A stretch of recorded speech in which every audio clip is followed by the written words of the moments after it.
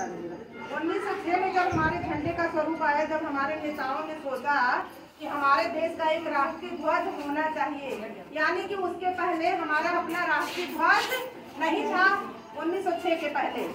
राष्ट्रीय ध्वज नहीं था, हम जो भी झंडा फहराया जाता था, अंग्रेज़ों के अधीन थे, उन्हीं का झंडा फहराया जाता था। तो जब 1906 में राष्ट्रीय ध्वज बना तो इसमें देखिए, तीन रंग का है। ये ऊपर क्या है? ऊपर किस रंग का है? हरा। ऊपर हरी पट्टी है, बीच में पीला रंग है और नीचे लाल है। और ऊपर वाली जो हरी पट्टी है, उसमें एक, दो, तीन, चार, पाँच, छह, सात, आठ कमल के फूल बने हुए हैं। और बीच में जो पीली पट्टी है, उसमें वंदे मातरम लिखा है और जो रेड पट्टी है, उसमें ये हमारा पहली बार झंडे का जो कॉन्सेप्ट आया उसके बाद फिर 1907 में उसमें थोड़ा सा सुधार हुआ और उसके बाद कलर तो वही है इस यहाँ पे देखिए यहाँ पे हरा पट्टी है यहाँ पीली यहाँ लाल है।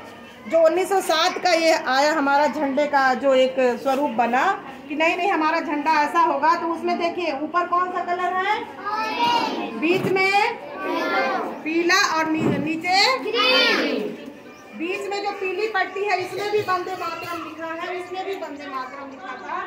ऊपर जो ऑरेंज पट्टी है उस पे देखिए वो बना है, चक्र टाइप का बना है। एक, दो, तीन, चार, पाँच छः सात, आठ। मतलब कमल के फूल को हटा दिया गया और उस पे सात फूल बने हुए हैं, लेकिन वो कमल का फूल नहीं है। नीचे देखिए, इधर सूरज, इधर चाँद तारा, ना? हरी पट्टी पे। 1907 का है। फिर उसके बाद उन्नीस अब इतने 1907 के बाद सीधे 1917 आ गया। 1917 में हमारा ऐसा झंडा बना। ये देख रहे हैं? पूरे झंडे का देखिए, एक, दो, तीन, चार, पाँच पट्टी लाल कलर की है और एक, दो, तीन, चार। चार पट्टी हरे रंग की है। अब इसमें देखिए, इसमें कितने वो बने हैं? स्टार बने हैं। एक, दो, तीन, चार, पाँच छः सात, आठ स्टार बने हैं। यहाँ चाँद बना है। और ये जो झंडा किनारे आप लोग देख रहे हैं, ये ये किनारे झंडा देखिए। झंडा ये इंग्लैंड का झंडा है। मतलब इंग्लैंड के झंडे को भी इसमें जोड़ा गया है। ये हमारा 1917 का झंडा था। उसके बाद फिर अब हम आते हैं 1921 में। 1921 में फिर हमारे झंडे का स्वरूप ये हो गया। देख रहे हैं, ऊपर कौन सी पट्टी है? हरा, बीच में लाल। दो ही रंग का है अब हमारा झंडा दो रंग का हो गया। ठीक ना? पहले तीन रंग का था ना?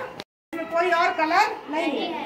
ये जो देखिए, ये हरा है और लाल है। और ये जो है चरखा बना हुआ है, इसमें गांधी जी का चरखा बना हुआ है। ये दो कलर का हमारा झंडा है, हरा और लाल। नीचे की पट्टी लाल और ऊपर की पट्टी हरी है और इस पे गांधी जी जो चरखा चलाते थे, वो वाला चरखा बना है। उसके बाद फिर ये 1921 का झंडा है। फिर उसके बाद आते हैं तो फिर हमारा झंडा तिरंगा कहाँ से आया? फिर अब उसके बाद, फिर अब ये स्वरूप आया झंडे का, फिर फिर हमारे झंडे का ये देखिए, अब ये देखिए, ये झंडा देख रहे हैं? ये देखिए। इसमें कौन से कलर है? देखिए झंडे में। कुछ कुछ हमारे झंडे से मिल रहा है। मतलब जो इस समय वर्तमान में जो झंडे का स्वरूप है, वैसा ही है। ऊपर नारंगी केसरिया बीच में सफ़ेद और नीचे हरा। लेकिन अंतर क्या है? और आज जो हमारा झंडा है, वो कैसा है? उसमें ये चरखे की जगह चक्र बना हुआ है। ये ये झंडा हमारे कॉन्सेप्ट में आया और गांधी जी ने कहा कि अगर हमारे झंडे में हमारा जो फ्लैग होगा नेशनल फ्लैग उसमें चरखा नहीं रहेगा तो हम उस झंडे को सलामी नहीं देंगे। मतलब गांधी जी का ये कहना था कि हमारे झंडे में चरखा होना चाहिए। तो ये हुआ, लेकिन आज ऐसा झंडा है।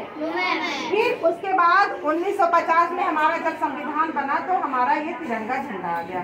तिरंगे झंडे में इसमें से क्या हटा दिया गया? इसमें से दिया गया। पूरा पूरा हम इसी झंडे को ले लिए।